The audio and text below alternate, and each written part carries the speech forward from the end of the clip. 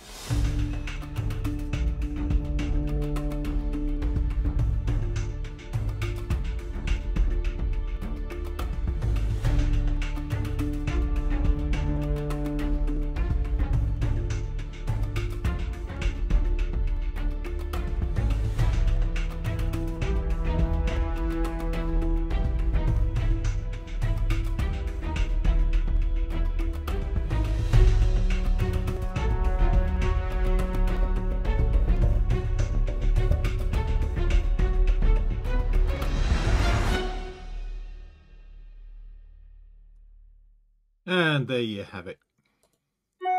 A countdown tension style cue. Uh, what makes it countdown? Um, the end. So this ending phrase. Think game show. In terms of structure, I hope you can see that fairly clearly there, that there is a a section, a B section, and then a return to an A section with more stuff building in.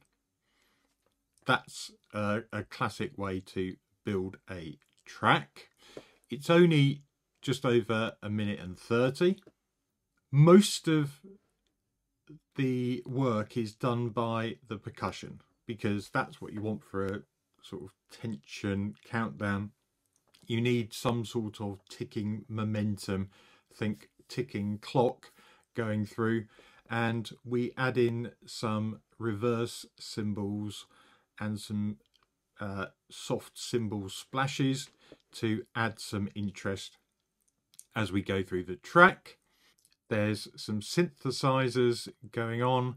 There is a bass synth and some brass and then some strings. So most of it is low strings until we get to the last section where we start building in some uh, octaves and then bring in a violin leader from BBC SO to add a bit more bite and it brings the sound out towards the end. Um, so, like I said, you do not need to be a musical genius to write this style of music you can see here, if we look at that entire section, it is literally B, uh, a D and a C sharp. Now, I will say, even though you don't have to be a musical genius, it is useful to think about what makes something tension track. So those chromatic movements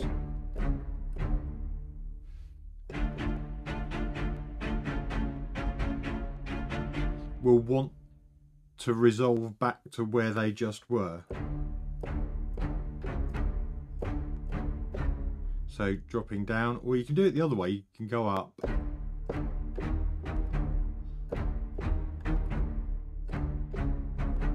Or up and down. So keeping chromatic movements is a great tip there.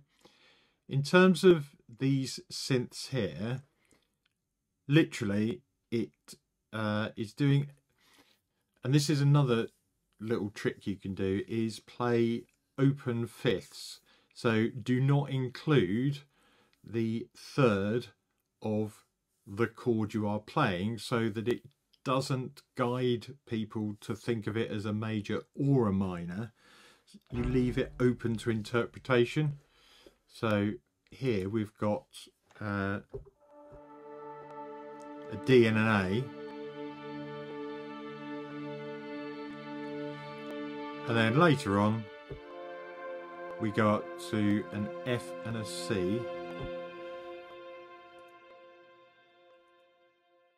and then so you're playing an open D and then an F and then back to the D and the F and then uh, towards the end we go up to a G here and that is offset from the F sharp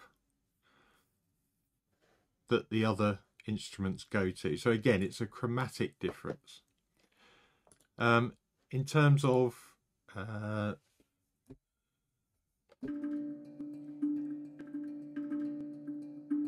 this sound,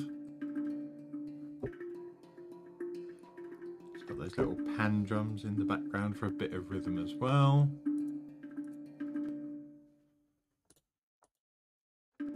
But again, it's going between the D and the F there and towards the end we go to the E and then the F sharp. Um, the bass literally follows along what the strings were doing in the first half. So they take over from what the strings were doing and it also introduces that new element because uh, to start with we've got uh, let's solo that for you.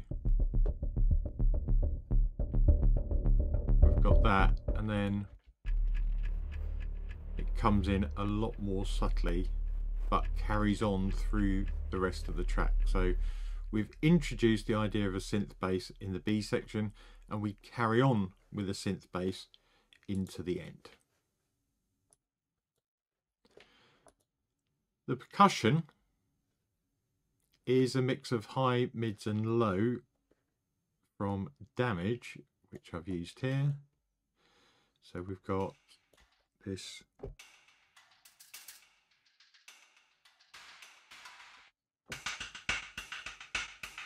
those two sounds.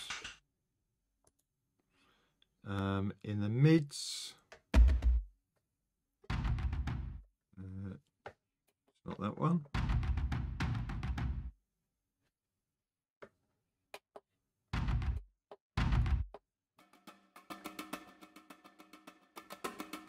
That's got a nice uh, bit of spatial movement to it. And in the lows, which one is it?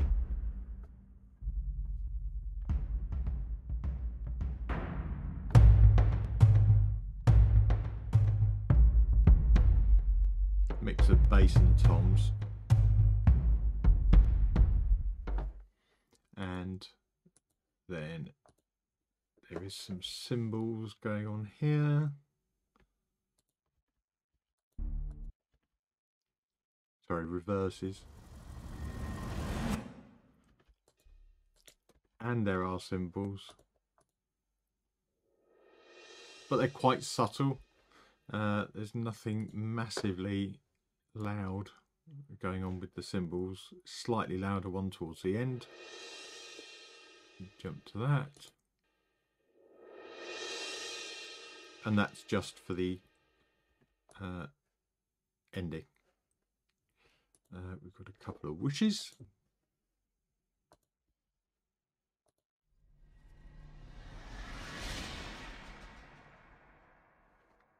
but because that's halfway through we don't need it to be so exacting and stop dead at the end that is literally all there is to this style of cue so if I were you I would lay down a simple low cello string line that's quite rhythmic um, we've got these brass hairpins as well. Oh, actually, I didn't go over those, did I?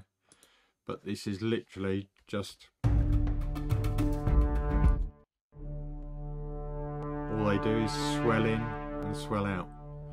So if you've got uh, an instrument that will do that for you, brilliant. Otherwise, what you want to do is get a brass sound and then automate the volume coming in and going out. You can change the uh, expression so that it sounds as if the player is blowing harder in the middle of the note all that much better but you could fake it with uh, volume automation as well there you go go and make yourself a countdown tension cue um, they are quite good fun and to be fair you can knock them out fairly quickly have you remembered to like and subscribe? That is always appreciated. And I hope you have a lovely rest of your day. Bye for now.